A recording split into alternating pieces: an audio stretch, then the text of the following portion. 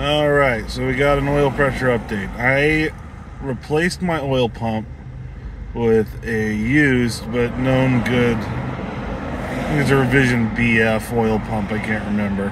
Car is good and warm, Mike. That's for you. I know I said a lot in my last video. Um, but I was having similar issues. I'm running 2050 right now, and uh, the oil pressure was as good as when I add the STP to the regular stuff. But what I decided to do was disconnect the N428 valve, which is the one that says, okay, the car's warmed up, let's go ahead and lower the oil pressure down. Well, that's at idle, 15 psi. And you give it hell, and it goes right on up. So I personally think that this car does have oil pressure issues somewhere else very well could be the balance shafts, could be anywhere else. Um, not really sure. But what disconnecting the N428 valve does is at a minimum, it gives you oil pressure when you didn't have any.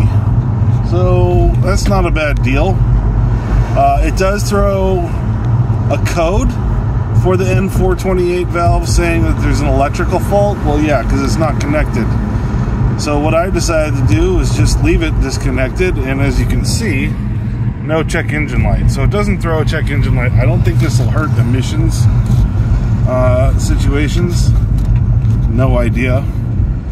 Um, but basically, what I've done is I've, I've, I've mechanically, well, I've disconnected that switch, which won't allow the computer to switch to lower oil pressure mode. I mean, this is still not the greatest oil pressure. I mean, it's 16, 17 psi when it's on the full uh, setting. But man, I,